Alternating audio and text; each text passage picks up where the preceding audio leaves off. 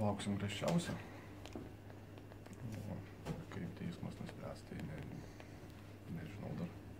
Bet tikėkime, kad bus griežčiausia bausmė. Bent jau aš taip norėčiau. Ir tikiuosi, kad taip bus.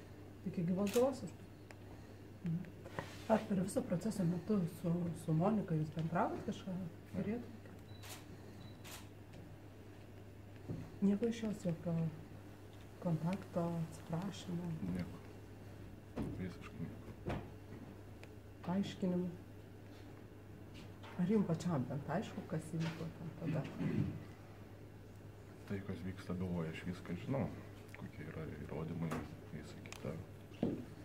Su, susipažinęs visiškai su ta byla, su liūdininkų parodymais, su, su kitais. Tai įrodymai lieka įrodymais. Kaltė nebejojot, ar ne? Ne. Visi tą puikiai mato. Čia kaltė tai šimta procentų, šimta procentų kaltė yra. Na, kokiu prašymu? Tai kolegė dabar iškėlė klausimą dėl kaltinamųjų tyrimo poligrafu. Na, be abejo, buvo klausimai visi proceso dalyviai. Aš buvau kategoriškai prieš, kadangi poligrafų įstatymas numato tam tikrus atvejus, baigtinį sąrašą, tai yra tyrimo poligrafo obje- objektų. Ir į tuos objektus neįeina nei kaltinamųjų, nei įtariamųjų tyrimas poligrafu, baudžiamo proceso kodeksas, kuris yra pagrindinis įstatymas reglamentuojantis baudžiamąjį procesą, nenumato tyrimo poligrafu. Na, kiti proceso dalyviai buvo priešingos nuomonės ir teisėjų kolegija dabar išėjo priimti sprendimą dėl tokio tyrimo, dėl galimybės atlikti tokį tyrimą. O kas patikė tą prašymą? Prašymą patikė Kazukaitytė su, su savo gynėju. O kokį, ką jie siekia ten išsiaiškinti su to poligrafu? Na, išsiaiškinti, matyti, siekia tiesą, kabutėse.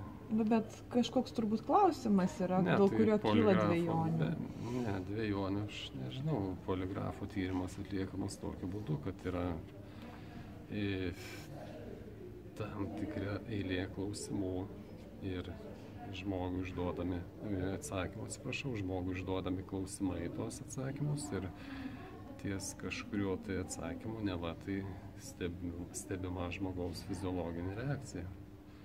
Nu, bet tai kitaip tariant, siekia nustatyti, ar žmogus meluoja, aš taip suprantu. Tai dėl kokių klausimų čia siekiama įrodyti, kad jinai nemeluoja. Na, Dėl lemiamų smūgių čia dėl to? Matomai, jeigu būtų atliekamas tyrimas poligrafu, matomai būtų užduoti visi klausimai įmanomi susijęs su byla.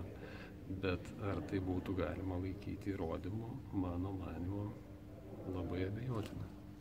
Kontenis irgi sutiktų tikrintis. Taip, visi absoliučiai sutiktų tiek kontenis, tiek Zukaitytė, tiek jų gynėjai, tiek e, nukentėjusių atstovas.